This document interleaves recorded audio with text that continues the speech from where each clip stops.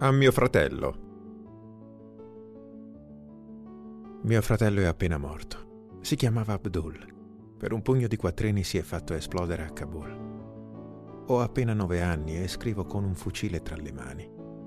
È l'unica possibilità che ho, se voglio avere un domani.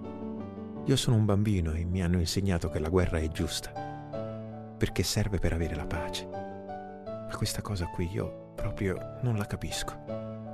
La pace non sempre arriva dopo una guerra. È un abbraccio stretto di tutta la terra. Imbottito di esplosivi, Abdullah ha ucciso otto persone e quattro erano bambini proprio come me. Sì, come me. E come Abdul. La guerra è brutta. È solo uno strumento di potere. Ma qui non si può dire. Qui è meglio tacere. È meglio fuggire piuttosto che sparare. È meglio rischiare la vita in mezzo al mare. Io ho solo nove anni e sono solo tra le onde, con gli occhi troppo chiusi perché non so nuotare.